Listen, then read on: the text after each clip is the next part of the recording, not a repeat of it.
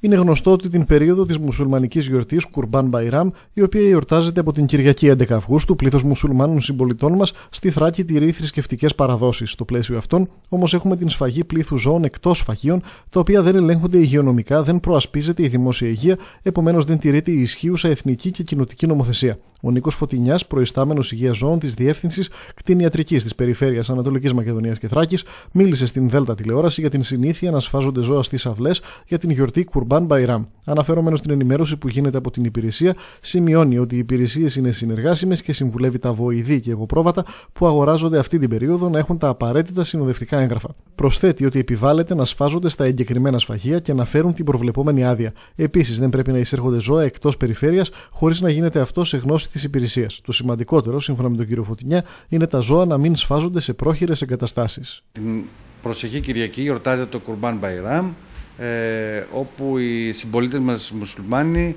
ε, προβαίνουν ε, στην ε, θυσία του Αβραάμ, γνωρίζω καλά, ε, και ε, γι' αυτό το λόγο βγάλαμε κάποια διευκρινιστικά, κάποια βοηθητικά, ώστε να βοηθήσουν και το, και το έργο της υπηρεσίας, αλλά και τη δική τους δημόσια υγεία για να έχουμε ιδιαίτερα ιδιαίτερα προσέξει. Οι κτηνιατρικές υπηρεσίες ε, θα θέλαμε, είναι συνεργάσιμες σε αυτό το κομμάτι και θα θέλαμε και οι συμπολίτες μας ε, όλα τα ζώα που αγοράζονται από, τις, ε, από την περιφέρεια να είναι σε γνώση της κτηνιατρικής υπηρεσίας.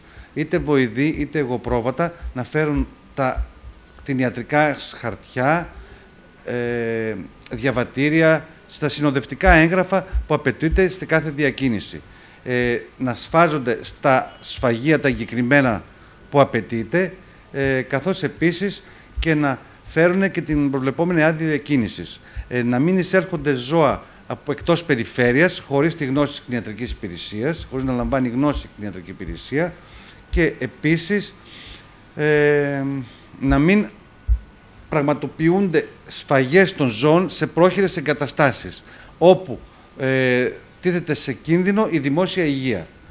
Ε, τα ζώα που καλό είναι να προοδηγούνται προς το σφαγείο, προς για σφαγή, να είναι κάτω των 72 μηνών για τα βοηδή ή κάτω των 18 μηνών για τα εγωπρόβατα, όπου δεν απαιτείται εξέταση κεφαλικού ιστού ε, για τη σπογκώδια κεφαλοπάθεια. Και το κρέας μπορεί να τον, τον παραλαμβάνεται άμεσα.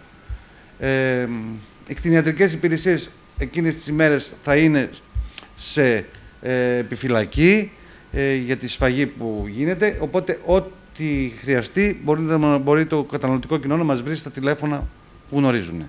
Η υπηρεσία συνιστά σχετικά με τα ζώα που οδηγούνται σε σφαγή να προτιμώνται βοηδοί μικρότερα των 72 μηνών και εγωπρόβατα μικρότερα των 18 μηνών, καθώς τα ζώα αυτής της ηλικίας δεν εξετάζονται για σπογκώδη εγκεφαλοπάθεια και το χρέας παραλαμβάνεται άμεσα από τους καταναλωτές. Ζώα μεγαλύτερης ηλικίας θα εξετάζονται για μεταδοτικές σπογκώδεις εγκεφαλοπάθειε και μόνο μετά από αρνητικό.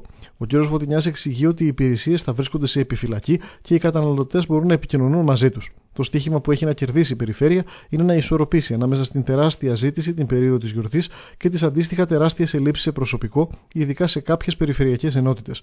Παρ' όλα αυτά, οι εργαζόμενοι καταβάλουν κάθε δυνατή προσπάθεια για να ανταπεξέλθουν στα καθήκοντά τους, με την προπόθεση να στέκονται αρρωγοί οι πολίτες και να οδηγούν τα ζώα σε εγκεκριμένα σφαγεία. Παίρνοντα το χρήσιμο ζήτημα των ελέγχων, ο κ. Φωτεινιάς εξηγεί ότι έχουν επιβληθεί πρόστιμα, ενώ επιπλέον γίνονται καταγγελίες για παράνομες σφαγές. Αναφερόμενο στη νέα νομοθετική ρύθμιση του 2019 για σφαγεία ειδικού σκοπού ή τη θρησκευτική σφαγή, ανακοινώνει ότι δεν πρόλαβε να ενεργοποιηθούν. Η ιατρική υπηρεσία κάνει φιλότιμες προσπάθειες να ανταπεξέλθει σε όλο αυτό τον όγκο προβλημάτων. Ε, θα κάνουμε υπομονή για λίγο ακόμα και πιστεύουμε ότι, ότι θα προχωρήσουν όλα καλά. Και φυσικά, αν οι συμπολίτες μας ε, ακολουθούν τις οδηγίες μας, δεν θα υπάρχει κάποιο ε, πρόβλημα. Αν όλα τα ζώα οδηγηθούν προς τα σφαγεία, προς τα εγκεκριμένα σφαγεία που θέλουμε, όπου θα υπάρχει συγκεκριμένο πρόγραμμα σφαγής, αυτό θα θέλαμε να τηρηθεί για να είμαστε ε, σίγουροι ότι δεν υπάρχει κίνδυνος για τη δημόσια υγεία ή ακόμα και για το περιβάλλον. Για την ε, παράνομη απομάκρυση από τον ε, στάβλο ζώων και προς σφαγή έχουν δοθεί πρόστιμα ε, όπως και γίνονται καταγγελίες, ευτυχώς συνέχεια και λιγότερες, κάθε χρόνο και λιγότερες, όπως και μεγαλύτερος όγκος ζώων κάθε χρόνο σφάζεται προς τα εγκεκριμένα σφαγεία.